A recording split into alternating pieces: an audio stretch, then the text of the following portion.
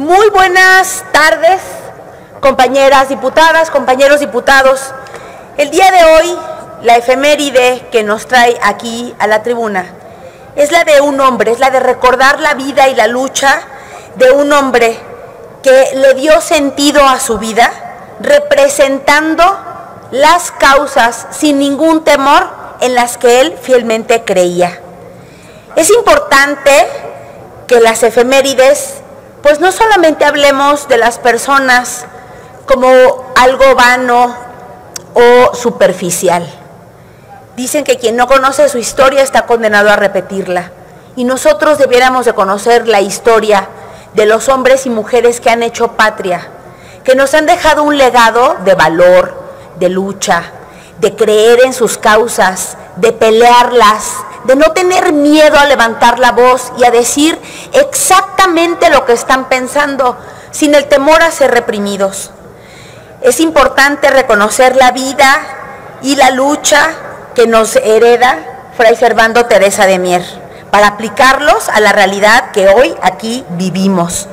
Porque si no, pues venir aquí a decir su nombre y repetirlo y decir que hay una calle con su nombre, pues no tendría ningún sentido estar aquí.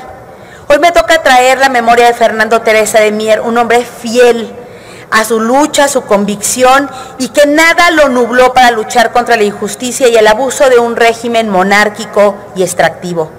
Originario del norte de nuestro país, nació en una familia de mujeres y hombres preparados que le permitieron tener acceso a una educación con la que pudo desarrollar claras ideas y pensamientos. Desde pequeño tuvo que afrontar el dolor de perder a sus padres, pero con gran empeño salió adelante y le permitió liberar los estragos de su pobreza. Pudo ganarse la vida y el apoyo de las personas con su facilidad de palabra. Perseguido por la monarquía francesa y española, dedicó su trabajo a la causa independentista de nuestro país, pero su visión era mucho mayor. Era lograr la independencia de toda la América española que se encontraba en busca de su libertad, que ante la injusticia y las demandas sociales no dudó en defender un gobierno más libre en el que intervinieran todas y todos los ciudadanos. Ese es el gobierno que nosotros queremos, en el que todas y todos quepamos para construir un mejor país, un mejor futuro, un país de iguales un luchador que fue perseguido toda su vida por querer un cambio, por alzar la voz ante la injusticia y la opresión.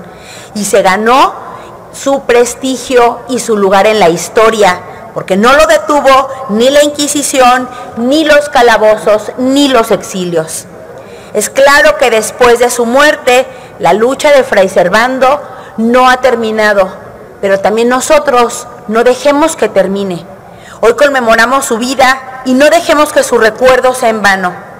Él vivió la persecución toda su vida y lamentablemente estamos viviendo lo mismo en este gobierno.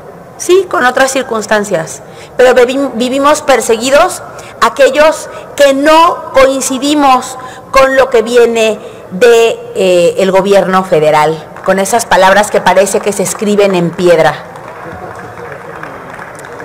En la bancada naranja, lo dijimos ayer y lo vamos a decir siempre, exigimos que se ponga fin a la, a la, persecución de periodistas, que se ponga fin a la persecución de investigadores y de todos aquellos que se oponen a este régimen opresor.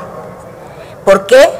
Porque le recordamos a nuestras compañeras y compañeros de manera muy respetuosa de Morena y al presidente de la República que México es mucho más que un zócalo lleno de acarreados.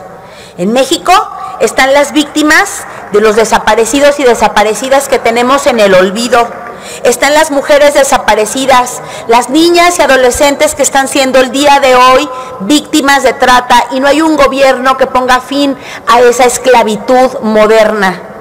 Hay el México de las personas encarceladas injustificadamente por la prisión preventiva oficiosa y México, este México, también somos nosotros y nosotras, los que soñamos con un país plural, con un país de ideas, con un país de aspiraciones, con un país de lucha y con un país de riqueza. Es cuanto, señor presidente, es cuanto.